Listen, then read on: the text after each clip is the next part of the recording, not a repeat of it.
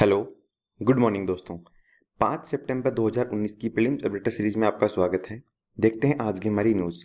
आज की जो पहली न्यूज़ आई है, वो आई है बेसिकली यू एक्ट यानी कि अनलॉफुल एक्टिविटीज़ प्रिवेंशन एक्ट 1967 को लेके। देखो कंटेक्स्ट यह है कि अभी जो हमारे होम मिनिस्टर हैं, उनके द्वारा या बोल सकते हो कि होम मिनिस्ट्री के द्वारा एक प्रपोजल लाया गया था इस बिल को या इस एक्ट को अमेंडमेंट या संशोधन के लिए।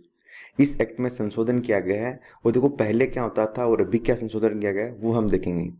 अभी संशोधन ये किया गया है कि जैस ए मोहम्मद, जो कि मेनली पाकिस्तान ऑक्यूपाइड कश्मीर में काम है, वो करता है एज ए टेरर या बोल सकते हो कि मिलिटेंट ग्रुप के तौर पे, जिसके हेड है मसूद अजहर। ये आपको ध्यान रखना है, कुछ फैक्ट और इसी के साथ ही लश्कर ए तोयबा, जिसके अभी करंट हेड हुआ है हिजबुल सैद हासिफ सैयद, और इसी के साथ ही एक और पर्सन है जिसका नाम है जक्की उर रहमान लखवी और एक चौथा पर्सन जिसका नाम है दाऊद इब्राहिम। इन चारों पर्सन को अभी टेररिस्ट का दर्जा है, वो दिया गया है। अब आपके दिमाग में आएगा कि भैया तो पहले से टेररिस्ट आतंकवादी घोषित थे। देखो, पहले क्या था कि जो ये एक्ट था ना अनलॉफुल एक्टिविटीज़ प्रिवेंशन एक्ट है, इसमें केवल जो संस्था होती थी ना, उन्हीं को आतंकवादी आतंकवादी संस्था डिक्लेयर किया जाता था, ना कि किसी इंडिविजुअल को टेररिस्ट घोषित किया जाता था। तो अभी इन चारों को इंडिविजुअली आतंकवाद घोषित है, वो कर दिया गया है। तो ये आपको ध्यान में रखना है। देखो, जैस ए मोहम्मद, ये हैं, या जो आतंकवादी ग्रुप्स हैं मिलिटेंट ग्रुप्स हैं, ये बेसिकली इंटरनल सिक्योरिटी में पूछे जा सकते हैं तो वहाँ पे आपको थोड़ा ध्यान रखना है कि जैसे मोहम्मद है, वो पाकिस्तान ऑक्यूपाइड कश्मीर में काम करता है। इसका जो हेड है, वो है मसूद अजहर है, जिसने जम्मू एंड कश्मीर विधानसभा पे अटैक किया था 2001 में। इसी के साथ ही इंडिया की पार्लियामेंट पे अटैक किया गया था, और जो पुलवामा और जो पठानकोट हमले हुए थे, उनमें भी इसी का हाथ था। तो ये आपको कुछ फैक्ट पता होना चाहिए कि भाई कौन से आतंकवादी ग्रुप के द्वारा क्या एक्टिविटीज़ की गई हैं। इसी के साथ ही लश्कर है तोयबा है। इसका जो अभी करंट हेड है, वो है हासिफ सैयद और एक दूसरा ऑर्गेनाइजेशन और है जिसका दूसरा नाम जानते वो है जमात उल दावा तो जमात उल दावा भी का हेड भी हासिफ सैयद ही है, ये आपको ध्यान में रखना है। और इस जो ग्रुप का या आप बोल सकते हो कि लश्कर तोयबा का मेन मोटो ये है कि जम्मू एंड कश्मीर को पाकिस्तान में मिलाया जाए। मतलब ये इसलिए पाक जम्मू एंड कश्मीर में एक्टिविटीज़ करता है, ताकि वहाँ पे इंडियन गवर्नमेंट्स को परेशान किया जाए और मतलब पाकिस्तान के अंदर जम्मू एंड कश्मीर को मर्ज किया जाए। तो ये पाकिस्तान सपोर्टेड ऑर्गेनाइजेशन है वैसे। इसी के साथ ही जो जक्की उर रहमान लखवी है, वो भी बेसिकली जो हासिफ सैयद, जो ग्रुप है, इनका लश्कर तोयबा और जमात उद्दावा इनका चीफ ऑपरेशनल कमांडर है। तो ये आपको ध्यान में रखना है। जबकि दाऊद इब्राहिम है, वो जो इलीगल वेपन की स्मगलिंग वगैरह होती है, जो इलीगल कारोबार होते हैं, उनमें काफ़ी बड़ा इनका कंट्रीब्यूशन है और और भी मुंबई हमलों में भी इनका योगदान था। तो इन सारे चारों प्रश्न आपको पता होना चाहिए। अब हम देखते हैं नेक्स्ट आर्टिकल नेक्स्ट जो आर्टिकल है वह है एशियाटिक सोसाइटी ऑफ़ मुंबई को लेके। देखो कंटेक्स्ट ये आया है कि एशियाटिक सोसाइटी ऑफ़ मुंबई जो कि बनाई गई थी 1804 में, इसका स्टार्टिंग में नाम था, वो था लिटरेरी सोसाइटी ऑफ़ बॉम्बे। उस टाइम पे सोसाइटी को बनाया गया था एक स्कॉटलैंड। उस टाइम पे आप बोल सकते हो कि कॉलोनियल ईरा के गवर्नर तो नहीं बोल पाएँगे। एक तरीके से एक प्रशासक थे या आप बोल सकते हो कि कोई भी एक एडमिनिस्ट्रेशन था कॉलोनी टाइम का, जिसका नाम था सर जेम्स मैकेटोस जो कि बेसिकली ओरिएंटेड स्टडी पे फोकस करते थे। ओरिएंटेड स्टडी का मतलब ये होता है कि जो पूर्वी देशों की स्टडी है मतलब वहाँ की कल्चर वहाँ की चीज़ों के बारे में स्टडी जैसे कि वेस्टर्न स्टडी का मतलब होता है? मतलब जो वेस्टर्न कल्चर है, वेस्टर्न जो यूरोपियन कंट्रीज़ हैं, उनकी स्टडी करना और ओरिएंटल स्टडीज़ का मतलब होता है जो सुदूर पूर्वी कंट्रीज़ हैं, जैसे कि इंडिया भी उसमें काउंट होता है, जापान हो गया, इसी के साथ ही साउथ ईस्ट एशिया वगैरह ये कंट्रीज़ हो गई, ये आती हैं ओरिएंटल कंट्रीज़ में। तो इस जो ये थे यहाँ पे सर जेम्स मैकेटॉन्स, जिनको जो कि बेसिकली स्कॉटलैंड से बिलोंग करते थे, इनके द्वारा 1804 में इस ऑर्गेनाइजेशन का निर्माण है, वो किया गया था? और कंटेक्स्ट यह है कि अभी इस संस्था का 215 साल बाद पहली बार एक फीमेल को या बोल सकते हो कि एक वुमेन को प्रेसिडेंट के तौर पे अपॉइंट है, वो किया गया है। मतलब फ़र्स्ट वुमेन प्रेसिडेंट है 215 साल की इसकी हिस्ट्री में, जिनका नाम है अभी प्रोफेसर प्रोफेसर वेस्पी बालारपुइया तो ये आपको ध्यान में रखना है कि भाई अभी 215 साल बाद इतना बड़ा एक इतिहास वो यहाँ पे आया है। देखो 1804 में जब ये ऑर्गेनाइजेशन ये सोसाइटी बनी थी उस टाइम पे तो इसका नाम था लिटरेसी सोसाइटी ऑफ़ बॉम्बे उसके बाद में 1826 में इसका नाम कर दिया गया था Bombay Bombay press of royal associate society तो ये आपको ध्यान में रखना कि इसका नाम है, वो यहाँ पे चेंज है, वो कर दिया गया था। इंपॉर्टेंट बात यह कि भाई इसका काम क्या है? बाद में इसका नाम है, वो 1954 में चेंज करके है, वो एशियाटिक सोसाइटी ऑफ़ मुंबई है, वो रख दिया गया था। इसका काम ये है कि ये जो हिस्टोरिकल रिसर्च है और हिस्टोरिकल जो अवार्डिंग का काम है, इसी के साथ ही ये इंडिया में एक इंस्टीट्यूट भी रनिंग करती है, जो कि पोस्ट ग्रेजुएशन में सपोर्ट है, वो करते हैं। या आप बोल सकते हो कि पोस्ट ग्रेजुएशन में स्टडी पीएचडी की स्टडी के लिए इसके काफ़ी सारे प्रोग्राम भी चलते हैं और इंडिया में जो हिस्टोरिकल रिसर्च है, उस पर भी फोकस होता है। इसकी खुद संस्था की एक अपनी लाइब्रेरी है, उसमें लगभग एक लाख से ज़्यादा बुक्स हैं। उन बुक्स में काफ़ी पुरानी बुक्स भी हैं, इवन जो मुगल एम्पायर के जो सिक्के वगैरह कॉइन्स हैं जो वहाँ के उस टाइम की करेंसी चलती थी और इसी के साथ ही मनु स्क्रिप्ट की जो रेयर आप बोल सकते हो कि दुर्लभ फ़ोटो वगैरह हैं, वो सारा कंटेंट यहाँ पे अवेलेबल अब आपको हो सकता है। इसी के साथ ही इसके द्वारा junior fellowship for research program भी चलाया जाता है, जिसमें जो प्रोग्राम जो स्टूडेंट पीएचडी वगैरह करते हैं तो उनको फंड एक तरीके से आप बोल सकते हो कि स्कॉलरशिप है फेलोशिप है, वो प्रोवाइड करवाई जाती है। तो ये आपको ध्यान में रखना है। और एक इम्पोर्टेंट चीज़ ये है कि मिनिस्ट्री ऑफ़ कल्चर है, वो एक प्रोग्राम चलाती है जिसका नाम है टेगोर नेशनल फेलोशिप तो जो टेगोर नेशनल फेलोशिप प्रोग्राम जो कि बेसिकली मिनिस्ट्री ऑफ़ कल्चर है ना, इसमें किस किस को ये फेलोशिप देनी है, उसके लिए सुझाव देने का काम भी ये एशियाटिक सोसाइटी ऑफ़ मुंबई है, वो करती है। और इसी के साथ ये ध्यान रखना कि इसके जो हेड या जो चीफ होते हैं, वो होते हैं महाराष्ट्र के गवर्नर यानी कि जो महाराष्ट्र के गवर्नर होते हैं, वो इस सोसाइटी के चीफ पार्टन के नाम से जाने जाते हैं। तो ये कुछ फैक्ट थे वो एशियाटिक सोसाइटी ऑफ़ मुंबई के बारे में तो हमें पता होना चाहिए कि किसने बनाया था। यूपीएससी पूछ सकते कि भाई अंग्रेज़ों के टाइम पे बनाया गया था। जी हाँ 1804 में बना था बट ये अंग्रेज़ों ने नहीं बनाया था। ये स्कॉटलैंड के जो पर्सन थे, उनके द्वारा बनाया गया था। तो ये कुछ फैक्ट आपको ध्यान रखने हैं। नेक्स्ट जो आर्टिकल है, वो है स्वच्छ आइकोनिक प्लेस को लेके। देखो कंटेक्स्ट यह है कि स्वच्छ आइकोनिक प्लेस में जो माता वैष्णो देवी का मंदिर है, उसको भी इस आइकोनिक प्लेस में इंक्लूड है, वो किया गया है। अब आपको थोड़ा फैक्ट बताता हूँ इसके बारे में। गवर्नमेंट के द्वारा एक स्वच्छ भारत अभियान चलाया गया था, जिसका मोटो क्या था कि भाई पूरे भारत को क्लीन है, साफ़ है, वो रखना है, और बिहेवियर चेंज की भी इसमें बातें हैं, वो की गई हैं। इसी के साथ ही बात यह है कि जो स्वच्छ आइकोनिक प्लेस है, वो इसी का एक पार्ट है स्वच्छ भारत मिशन का ही। इसमें देखो ये क्या जाता है कि जो एरिया मतलब घूमने लायक है, आप बोल सकते हो कि टूरिज़्म है या फिर धर्म के आधार से इंपॉर्टेंट है, किसी रिलीजियस मैटर से, उनकी साफ़ सफ़ाई काफ़ी अच्छी होनी चाहिए ताकि वहाँ से एक पॉजिटिव मैसेज जा सके लोगों के पास, जो भी लोग वहाँ पे विज़िट करें, वो एक पॉजिटिव मैसेज दे कि भाई वहाँ पे साफ़ सफ़ाई बहुत अच्छी थी।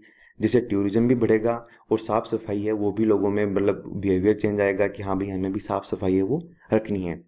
तो ये जो इनिशिएटिव है, वो basically ministry of drinking water and sanitation का है, जो कि इसके लिए नोडल मिनिस्ट्री है। बट बात ऐसी है कि अकेली drinking water and sanitation ministry ही कुछ नहीं कर सकती। इसके लिए और भी मिनिस्ट्रीज का कंट्रीब्यूशन है, वो भी ज़रूरी है। तो जो स्वच्छ आइकोनिक प्लेस है इसमें बाकी जो अर्बन डेवलपमेंट मिनिस्ट्री है कल्चर मिनिस्ट्री है और टूरिज़्म मिनिस्ट्री है, ये मिला के काम करती हैं। क्यों? क्योंकि देखो टूरिज़्म वाले एरिया पे तो साफ़ सफ़ाई करनी है ना। तो ऑब्वियसली टूरिज़्म मिनिस्ट्री का भी कोलोब्रेशन चाहिए और कल्चर वाले इसलिए क्योंकि कुछ कल्चरल साइट्स भी होती हैं तो वहाँ पे कल्चर्स का कंट्रीब्यूशन भी चाहिए। और अर्बन डेवलपमेंट इसलिए कि भाई कुछ कुछ एरिया में तो है ही ना कहीं ना कहीं तो तो वहाँ का डेवलपमेंट होगा तभी तो साफ़ सफ़ाई होगी। इसलिए इस मिनिस्ट्रीज का कोलोब्रेशन है। इसमें तीन फ़ेज़ में मतलब आप बोल सकते हो कि phase one phase two phase three में स्वच्छ आइकोनिक प्लेस का दर्जा दिया जाता है। तो जो माता वैष्णो देवी का मंदिर है जम्मू में, उसको फ़ेज़ वन में मतलब सबसे ज़्यादा वहाँ पे अच्छी साफ़ सफ़ाई है, वो रखी जा रही है तो उसी को लेके न्यूज़ है, वो आई है। और हाँ स्वच्छ आइकोनिक प्लेस में कोई भी पब्लिक और प्राइवेट कंपनी है, उसको एज ए पार्टनर के तौर पे भी काम है, वो करवाया जा सकता है। अगर वो कंपनी खुद से अपनी इच्छा से शामिल हो रही हो, या फिर जो कॉरपोरेट सोशल रिस्पॉन्सिबिलिटी होती है सीएसआर फंडिंग उसके थ्रू भी यहाँ पे काम है, वो किया जाता है। काम क्या है? जो भी हमारे मोनूमेंट्स हैं, स्मारक वगैरह हो गए, दर्शन इंपॉर्टेंट तीर्थ स्थल हो गए, उनकी साफ़ सफ़ाई है, वो उसको प्रमोट किया जाए, ताकि वहाँ पे एक अच्छा वातावरण, एक अच्छा मैसेज है लोगों को दिया जा सके। नेक्स्ट जो आर्टिकल हुआ है एथेनॉल को लेके। देखो एथेनॉल है ना, वो एक बायोफ्यूल है, ये आपको ध्यान में रखना है। अभी क्या है, वो थोड़ा देखते हैं, पहले थोड़ा बैकग्राउंड के साथ चलते हैं। देखो एथेनॉल है वैसे एल्कोहल जिसे हम लोकल लैंग्वेज में दारू कहते हैं ना, एक तरीके से वही। एल्कोहल की 99 परसेंट प्लस प्योरिटी है। मतलब ये बोल सकते हो कि 99 परसेंट से भी ज़्यादा प्योर फॉर्म होती है एल्कोहल की, उसको एथेनॉल के नाम से जाना जाता है। गवर्नमेंट के द्वारा देखो एक प्रोग्राम चलाया गया था नेशनल बायोफ्यूल पॉलिसी जो कि बेसिकली गवर्नमेंट की ये काम करती है कि भाई जो भी हमारे देश में बायोफ्यूल होते हैं, जैसे कि एल्कोहल है, वो भी एक बायोफ्यूल ही है यहाँ पे एथेनॉल सॉरी एथेनॉल है, वो भी एक बायोफ्यूल है। तो बायोफ्यूल को प्रमोट करने के लिए पॉलिसी वो आई थी नेशनल बायोफ्यूल पॉलिसी। और इस पॉलिसी का एक पैरामीटर आप बोल सकते हो कि एक सिद्धांत अब अहम ये रख मान सकते हो कि ये था कि भाई हमारे देश में जो भी पेट्रोल है, डीजल है, इसमें कम से कम 20 परसेंट एथेनॉल को मिश्रित या ब्लेंड है वो किया जा सके। देखो होता क्या है थोड़ा बताता हूँ। इंडिया मैक्सिमली जो क्रूड ऑयल वगैरह है, वो बाहर से इंपोर्ट करता है।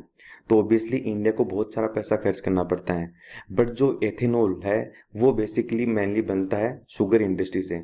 शुगर इंडस्ट्री में जब शुगर का बायो प्रोडक्ट होता है, जिसको जाना जाता है बेसिकली मेलेसिस जो कि एक गाढ़ा काले रंग का चिपचिपा पदार्थ होता है, उससे एथेनॉल को प्रोड्यूस है, वो किया जाता है। और बाई प्रोडक्ट है, इसका मतलब वैसे इसकी कोई इतनी ज़्यादा इंपॉर्टेंस नहीं होती। जब शुगर इंडस्ट्री इंडिया में काफ़ी सारी है तो ऑब्वियसली मेलेसिस भी काफ़ी अच्छी मात्रा में प्रोड्यूस होगा और इसका मतलब यह है कि एथेनॉल भी काफ़ी अच्छा प्रोड्यूस होगा।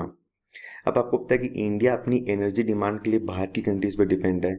अगर वहीं इंडिया जो पेट्रोल जैसे प्रोडक्ट्स हैं पेट्रोल डीजल इसमें एथेनॉल को मिला दे तो क्या होता है कि एक तो गाड़ी का एवरेज माइलेज भी काफ़ी अच्छा आएगा इंजन की कैपेसिटी भी बढ़ जाएगी और इंडिया का जो डिपेंडेंसी है ऑयल वगैरह की बाहर की कंट्रीज़ पे, वो भी कम हो जाएगी। तो अभी करंट सिनेरियो में होता है कि 10 परसेंट जो एथेनॉल है, इसको पेट्रोल में ब्लेंड या मिक्स है, वो किया जाता है स्पेशल मेथड के द्वारा। कंपनियाँ मतलब इसको मिक्स करके देती हैं। जैसे मान लो कि एक लीटर पेट्रोल लिया आपने तो उसमें 100 ग्राम है 100 एम है, वो तो होगा एथेनॉल और नब, जो होगा 900 सौ होगा, वो होगा आपके सामने यहाँ पे पेट्रोल, उसको ब्लेंड करके मिक्स किया जाता है। इससे एक तो इन्वायरमेंट फ्रेंडली भी हो जाता है कि भाई जो फॉसिल फ्यूल है, उसकी निर्भरता कम हो जाएगी, क्योंकि आप बड़े लेवल पे देखो, काफ़ी सारा बेनिफिट होता है। जब ऐसे 10 परसेंट मिक्स किया जा रहा है, इसका मतलब बहुत सारी हमारी निर्भरता है, वो घर, हमारे देश से कंज्यूम है करके निपटा सकते हैं। तो अभी तो 10 परसेंट मिक्स की जाती है, जबकि जो नेशनल बायोफ्यूल पॉलिसी है, उसमें ये टारगेट रखा गया है कि भाई हमें 10 की जगह 20 परसेंट मिक्स करना है बायोफ्यूल को। तो इसी के लिए भी काफ़ी सारी रिसर्च स्टडीज़ वगैरह भी चल रही हैं तो गवर्नमेंट धीरे धीरे इसकी तरफ़ अग्रसर है। तो एथेनॉल जो ब्लेंडेड प्रोग्राम है 2003 में बेसिकली प्रोग्राम लाया गया था कि कम से कम 10 परसेंट हम एथेनॉल है वो पेट्रोल में मिक्स करके बेचेंगे सब जगह। इसका फ़ायदा क्या है? एक तो अल्टरनेटिव हो गया जो फोसिल फ्यूल हो गए इंडिया की निर्भरता कम हो जाएगी तो इंडिया का जो फ़िज़िकल डेफिसिट है या फिर इंडिया का जो घाटा होता है वो कम हो जाएगा। इसके साथ ही इन्वायरमेंट फ्रेंडली है और ये ध्यान रखना कि ministry of oil marketing companies है, उसका यह इनिशिएटिव है। तो ये आपको कुछ फैक्ट ध्यान में यहाँ पे रखने हैं। और आपको बता दूँ कि इंडिया है, वो वर्ल्ड में थर्ड लार्जेस्ट एक तरीके से ऑयल कंज्यूमिंग कंट्री है। मतलब एनर्जी डिमांड है इंडिया की। सबसे ज़्यादा अगर हम बात करें चाइना यूएसए और फिर आता है इंडिया तो ये आपको ध्यान रखना है कि इंडिया है, वो एनर्जी डिमांड में तीसरे नंबर पे आता है ऑल ओवर वर्ल्ड में। नेक्स्ट जो हमारा आर्टिकल है, वो आया है north east region agriculture marketing corporation limited क्या है ये हम देखते हैं? N E R A M A C है क्या देखो बेसिकली यह एक पायोनियर मार्केटिंग ऑर्गेनाइजेशन है। मतलब मार्केटिंग की एक पायोनियर अग्रणी संस्थान है, जो कि मेनली काम करती है नॉर्थ ईस्ट रीजन के लिए। नाम से पता चल रहा है नॉर्थ ईस्ट रीजन मतलब पर्टिकुलर उस पर फोकस रहता है। काम क्या है इसका? ये वैसे तो बनाई गई थी 1982 में, जो कि डोनेर मिनिस्ट्री के अंडर काम करती है। और इसका काम ये होता है कि एग्रीकल्चर और जो हॉर्टीज सेक्टर्स हैं, इन दोनों सेक्टर पे इसका फोकस रहता है। मतलब एग्रीकल्चर और हॉर्टिकल्चर यानी जो फ्रूट्स वगैरह पैदा होते हैं, इन पे। काम इसका ये है कि ये फार्मर्स के राइट्स को सपोर्ट करती है। देखो, किसान जब फ़सल पैदा करता है खेत से लेके और जब तक उसकी फ़सल मार्केट तक बिक नहीं जाती तो उसके बीच तक जो सारा सपोर्ट है, वो इस संस्था के द्वारा करवाया जाता है और इवन कंज्यूमर्स को भी सपोर्ट दिया जाता है ताकि अच्छे दाम वो दे सकें और अच्छे दाम वो जो यहाँ पे सेलर है, उसको भी मिल सकें। मतलब किसानों के हितों की भी रक्षा करती है और कंज्यूमर दोनों के सपोर्ट है, वो करती है। ये आपको ध्यान में रखना है कि फार्मर सेट खेत से लेके और मार्केट तक की एक्सेस है मार्केट तक का सपोर्ट है, वो इसके द्वारा प्रोवाइड करवाया जाता है। और जो उसका ऑपरेशन है, आप बोल सकते हो कि एडमिनिस्ट्रेशन जो कंट्रोल है, वो basically ministry of development of north east region यानी कि जो डोनियर मिनिस्ट्री है, उसके अंडर इसका जो एडमिनिस्ट्रेशन काम है, वो किया जाता है। लास्ट एक न्यूज़ आई है, वो आई है G F T M fund को लेके। देखो इंडिया है, उसने अभी G F T M fund में 22 मिलियन यूएस डॉलर पैसा है, वो इन्वेस्ट किया है। क्या है तो हम थोड़ा ये देखते हैं। निवेश किया सॉरी सबसे इंपॉर्टेंट चीज़ ये है कि जो ये G F T A G F T M fund इसका मतलब यह है global fund for AIDS TB और मलेरिया तो एक तो यूपीएससी ये पूछ सकती है कि भैया फंड कौन कौन सी बीमारी से काउंटर करेगा। तो एड्स टीबी और मलेरिया के बारे में स्टडी, रिसर्च और उसके लिए जो भी अच्छे मेडिसिन मिल सकते हैं, उन सब के लिए कॉन्ट्रीब्यूशन दिया गया है इंडिया की तरफ़ से 22 मिलियन डॉलर का। तो ये इंडिया की तरफ़ से छठवीं बार ऐसा किया गया है। पिछली बार, यानी कि जब पांचवी बार इंडिया ने जितना इन्वेस्ट किया था उससे दस परसेंट ज़्यादा इस बार इंडिया ने इन्वेस्ट है वो किया है। तो थोड़ा ये ध्यान रखना कि G F T M fund है, उसमें एड्स टीबी और मलेरिया को काउंटर करने की बात है वो की गई है। तो देखो, ये थी आज की हमारी न्यूज़ तो फ़िलहाल की न्यूज़ इतनी है तो thank you thank you very much for discussion